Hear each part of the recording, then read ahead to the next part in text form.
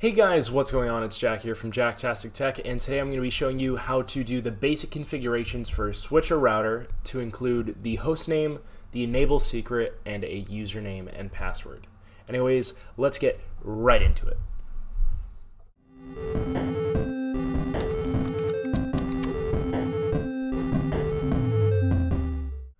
Alright, and so to be teaching you guys this, we're going to be using Packet Tracer. Now, if you've never used Packet Tracer before, it's a software that allows you to simulate networking equipment.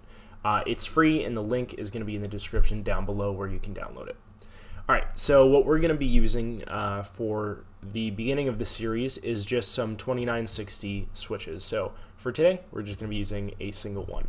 So we'll go ahead and we'll just um, rename it like that because I don't know, that's how I like to do it. And then we're going to go ahead, click on the switch, and then come over to the command line interface. We're just going to hit return to get started, and you should see switch with a little uh, greater than arrow. Uh, so what we're going to do is we're going to type in enable and then configure. So if you don't want to type something out, you can shorthand it and the CLI will know what you're talking about for the most part. Sometimes if there's other commands that are similar, it won't work, but what you can do is I can do config t like that, or I can exit and just do config and then hit tab and it'll bring out configure like that and then T and hit tab again and it'll do terminal. So this is the mode that we're going to need to be in to make any sort of changes to our switch. So let's go ahead and start with the first change we're going to do, which is going to be the host name. Now the host name is going to change this word right here, switch, to be whatever we want it to be. So we're going to do host name jack tac sw tac 1. So now when I have a bunch of these switches set up in a network and I'm SSHing or secure shell, um, getting into these switches remotely, I'll be able to know exactly which one I'm in and not have to worry about just putting in the right IP address. So very simple. This command is just hostname and then the word. So whatever you want to name it.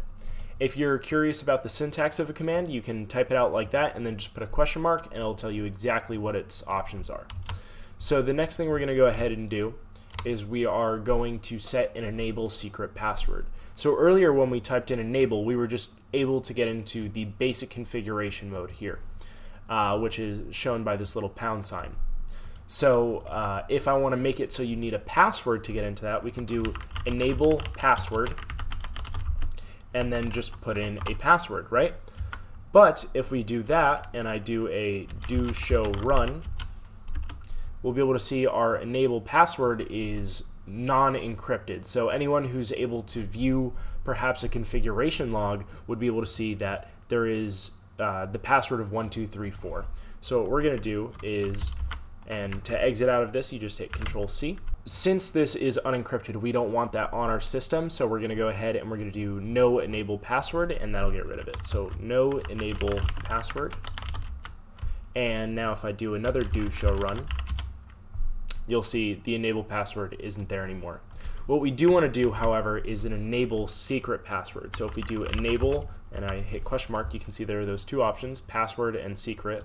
We'll do enable secret, and then we'll do one, two, three, four. And this time when I do a do show run, which is just showing the running config, you'll see that it's encrypted. So you wouldn't be able to find out what that password is if this is saved to a configuration log. So now if I go ahead and I type exit and exit again, and now we're back to where we were when the switch first uh, was powered on and I type en for enable or type it out like enable.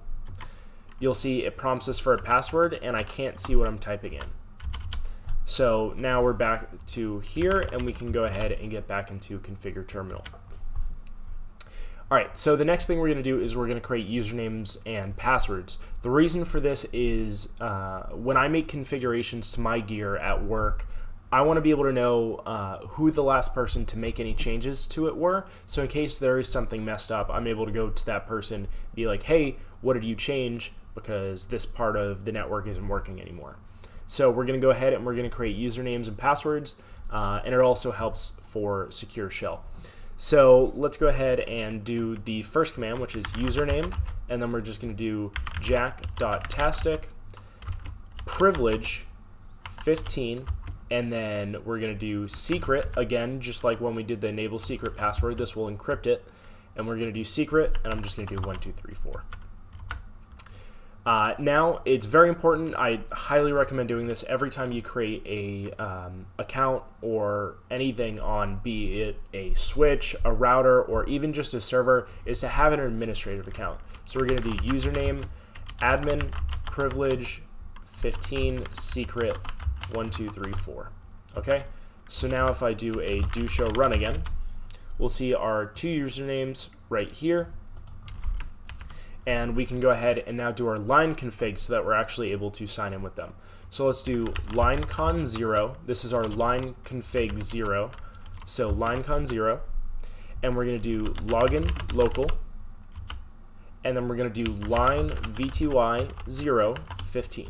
And again, login local. So now if I exit out of all of this, it's going to prompt me for a username. So I'm going to do jack.tastic and one, two, three, four.